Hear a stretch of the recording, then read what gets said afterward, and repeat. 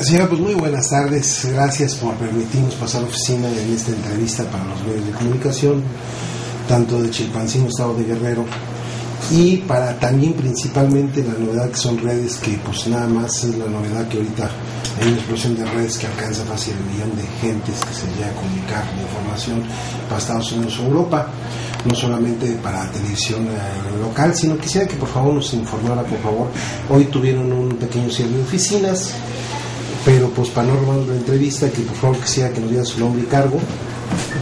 Sí, yo soy el licenciado Jorge Corral Giles, el coordinador de Administración Escolar y Certificación de Competencias en la zona sur. Muy bien, maestro. Eh, Quisiera que nos platicara de qué se trató este pequeño cierre de oficinas en el cual, pues eh, afortunadamente todo salió bien, tuvieron acuerdos en diálogo, pero quisiera que nos platicara pues una forma eh, rápida qué fue lo que sucedió realmente. Sí, mira, este, desde el comienzo, en San Isidro Gallinero, en el poblado de San Isidro Gallinero, hay una, pre- hay una prepa que se llama, una parte de la preparatoria Digno Ochoa, una extensión. Esa extensión estaba funcionando en la comisaría ejidal en unas condiciones deplorables. A solicitud de los padres de familia y del director de la preparatoria Digno Ochoa, asistí al poblado de San Isidro Gallinero a corroborar la, la situación en que recibían clases los estudiantes y conocer la propuesta del comisario municipal. Una cosa es la comisaría ejidal y otra es la comisaría municipal.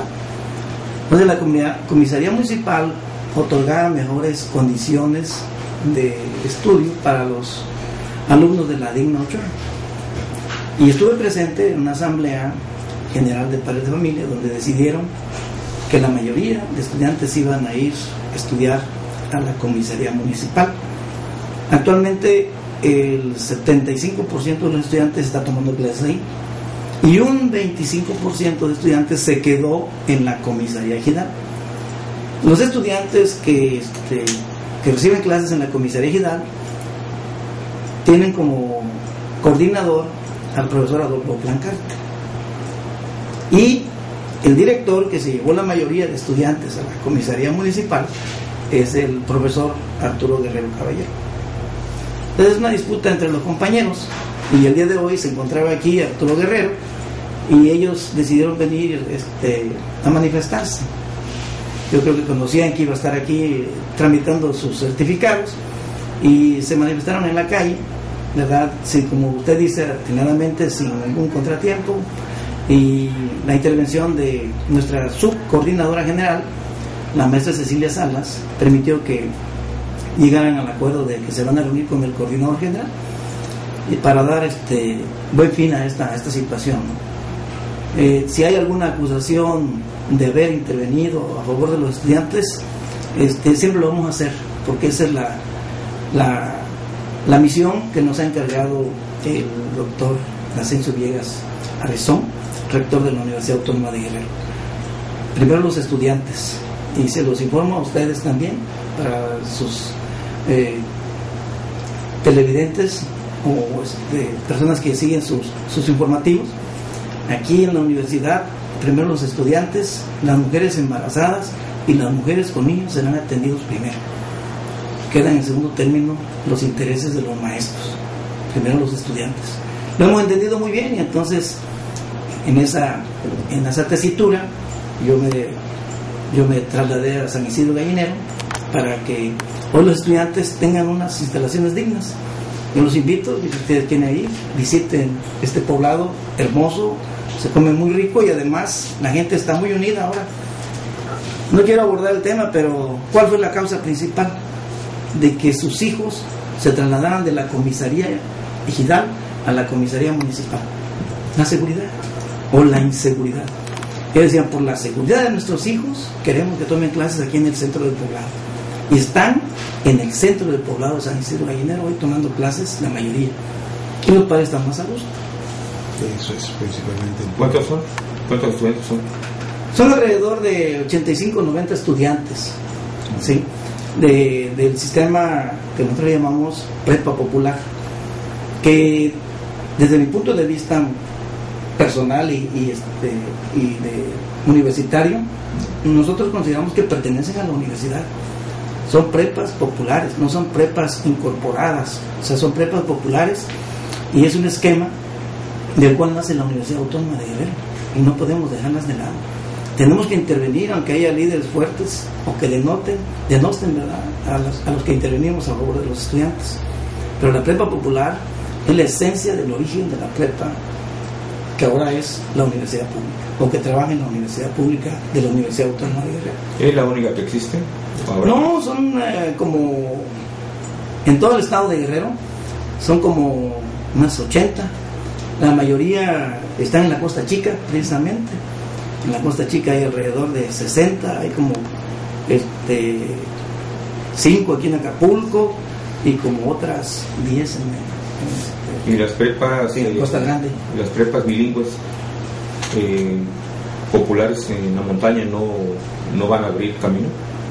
Mira, este ahora hay otra, otro proyecto que acabamos de, de, de conocer con beneplácito que está desarrollando la Universidad Intercultural. Ellos son los que se van a integrar de ese tipo de programas para estudiantes de indígenas, llamarlo así. ¿no? Sí. Este, y qué bueno que lo hagan, ¿sí? porque aquí la universidad solamente y de manera muy, muy reconocida al doctor Asensio Villegas Arizón, en, por ejemplo, en la facultad más solicitada o más demandada de la universidad, que es en medicina, se acordó por iniciativa de él en el Consejo Universitario un porcentaje, el 10% de los lugares son para los estudiantes de, de, de origen indígena. El privilegio que únicamente tenían los hijos de los trabajadores de la universidad. Entonces es una política pública diferente de, de una verdadera vinculación. Se ha hablado mucho en la universidad de la extensión y la vinculación y nunca se ha llevado a la práctica como ahora. Y si ustedes me permiten, todavía quiero agregar. Este, yo les dije que mi cargo era de administración escolar y certificación de competencias. Pues en el marco de las competencias, los estudiantes tienen que ser autogestivos, pero tenemos que brindar las condiciones. Y las condiciones que nosotros le estamos brindando ahora a los estudiantes de la prepa popular son las que tiene que tener todo, todo estudiante de la, inscrito en, la, en lo que nosotros llamamos la prepa de la universidad. Desde sus eh, implementos tecnológicos, su material didáctico, sus libros, o sea, hacer un trabajo este, complementario con las, con las prepas populares. ¿Eso quiere decir que van de la mano las prepas populares con la universidad? Tiene que ser así. Los maestros tienen la obligación de integrarse en academias. Los directores tienen que darnos su informe. Tienen que registrar este el, el, el ingreso con los mismos requisitos. Tienen que cumplir con los programas educativos que hoy le digo está centrado en el aprendizaje y competencias. Tienen que hacer sus reuniones de, trabajo, tienen que integrar su consejo de unidad, tienen que tener sus representantes para normarse a sí mismos, pero siempre en observación de, de la personas de la dinámica, ¿no? De la dinámica organizativa que tenemos.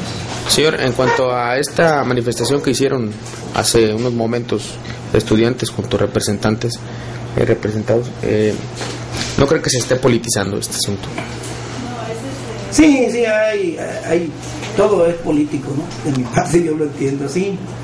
Este, hay, hay que irse también con mucha reserva en unas situaciones porque todo está relacionado con el proceso político que se ve en Guerrero y, el proyecto de, elecciones que se tiene para o las elecciones que se contemplan para el 2012, no, eso no, no, no queda afuera, definitivamente. Sí, tiene que tener su, su interés, su rasgo político. Pero aquí principalmente yo veo que este, una parte se queda sin alumnos, en lo práctico. Y entonces este, ya se, se, se quiere, se quiere este, combinar con la parte política para ahora sí politizar el asunto. Y ya intervienen otros actores. ¿no? Así es. Y prácticamente eh, los que salen perdiendo en un momento dado, si se politizara esto y no se diera el aspecto académico, serían los pobladores. Y yo creo que en la educación deben de dejar a un lado los partidos políticos, la organización interna de la universidad. A lo mejor este, uno, vamos a decirlo así, uno de los maestros pertenece a un partido y el otro pertenece a otro, y, y los pobladores, los del pueblo de San Isidro, pues no sé, este, si, si, la mayoría vaya a favorecer a uno u otro, ¿no? De acuerdo a, quien gane el número de alumnos. Yo creo que eso también tiene que, tiene que considerarse. Pero aquí lo más importante para la universidad es que vengan de cualquier partido, de cualquier religión, de cualquier este, manifestación ideológica. La universidad es universal y, nosotros tenemos que aceptar a todos. Y en mi, en mi caso, en mi caso es servirle a todos por igual. Pero que me disculpen los maestros y los funcionarios, para mí, primero los estudiantes. Muchísimas gracias. Sí, pues muchísimas gracias por esta entrevista. Pues eh, ya casi dijo todo. Algo que se nos haya olvidado. Un mensaje, un mensaje para los universitarios, sobre todo. No, pues agradecerle primero a los medios de comunicación, ¿no? Que hoy ya los medios de comunicación saben quién es uno. O sea, quién es uno y quién es otro. ¿Verdad? Y nos dan la oportunidad de que gente que no estamos acostumbrados a los reflectores, podamos expresar pues nuestro sentir, porque eh, estamos en una posición en la que nos ofenden, en la que nos agreden, en las que nos difaman, y no podemos decir nada, ¿verdad? Porque tenemos que actuar con mucha prudencia y porque entendemos el papel que nos ha encomendado el doctor Asensio Villegas Arizona. Señor, pues antes que nada, pues muchísimas gracias por esta entrevista. Nos ha dado la oportunidad de poder atender, este, estar aquí con usted. Eh, gracias. Y ya nomás por último, por favor, su nombre y cargo de nuevo. Sí, antes de terminar quiero decirte que por indicación desde el coordinador general no se suspendieron las labores. Ah, perfecto. Se siguió trabajando en todas las coordinaciones y en esta pues ustedes ven que estamos trabajando y este y que pues yo deseo que todos los universitarios vayamos siendo más unidos. Voy a aprovechar esta oportunidad para hacer una denuncia. Es importante la unidad de todos los universitarios porque cuando hay turbulencias, en este caso, la gente de un mal vivir se aprovecha. Casi al término de la protesta, el compañero Termino Cisneros fue sorprendido aquí afuera, aquí enfrente de la puerta, por dos este, personas que le quitaron su vehículo particular, una camioneta en la que se transporta el compañero. Un universitario sencillo, humilde, que tiene que subir las consecuencias. Esto es casi una manifestación concreta de que si no estamos unidos la sociedad, los universitarios, los trabajadores, ustedes los periodistas, somos fácil víctimas de, de la gente que no quiere vivir bien. Así es, maestro. ¿No está, eh, ¿No está en peligro eh, la integridad física de ustedes en cuanto después del robo? No, no, porque este, a mí me gustaría que hablaran con el compañero Hermilo, que acaba de ir a presentar su denuncia de hechos, ¿verdad? Este, porque no es una cosa este, en contra de los universitarios, es gente que se aprovecha, ven que hay este que hay este un poco de, movimiento, ¿verdad? Se altera el orden, pues bueno, pues el desorden es aprovechado siempre. Y podemos recurrir al, al este al refrán ese que río revuelto ganancia de pescadores. Sí, sí. En este caso, pues, ganancia de la gente que no quiere vivir bien, que a lo mejor tiene su justificación. Muchos han dicho que por falta del empleo. Pues esta universidad lo único que está haciendo es generar profesionistas capacitados para que tengan empleo. Y nosotros tenemos que ser los primeros en decir ya basta. ¿Cómo? Sirviéndole y trabajando por el pueblo de Guerrero a través de la universidad. En el tema de los, de los estudiantes primero, eh, hay maestros que hostigan a los estudiantes. ¿Qué va a pasar con el maestro?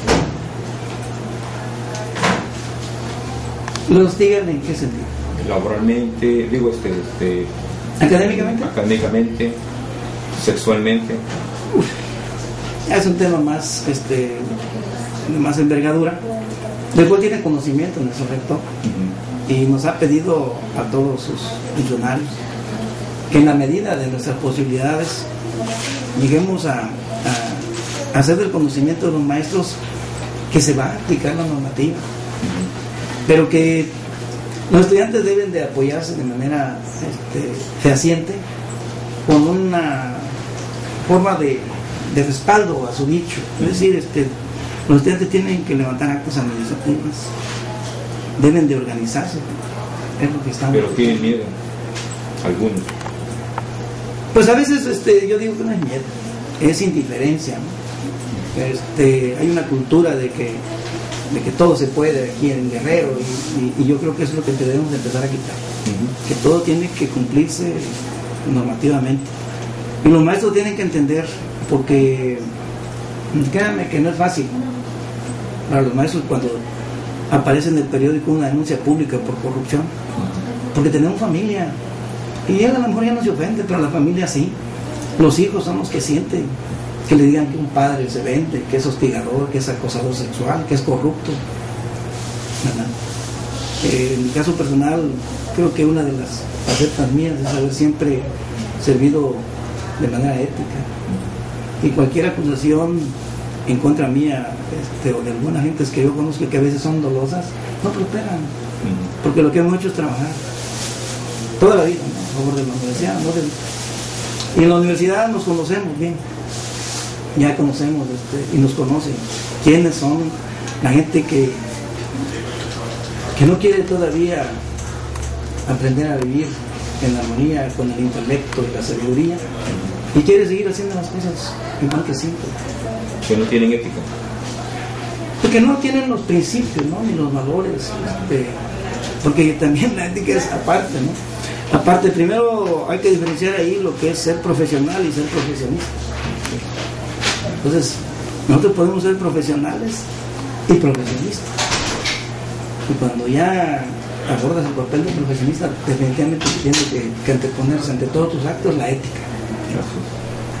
Y como profesional, ¿por qué no servir a todos? ¿Por qué no ser responsable? ¿Por qué no respetar a los estudiantes? ¿Por qué no brindarnos sin esperar nada a cambio? En lugar de que la universidad llevara los buenos modales hacia la sociedad, algunos maestros han copiado los malos modales y no han traído a la universidad. Y eso tampoco es, es gratuito. Apenas estaba viendo la posibilidad de, regularizar de una manera metódica la elección de- del rector.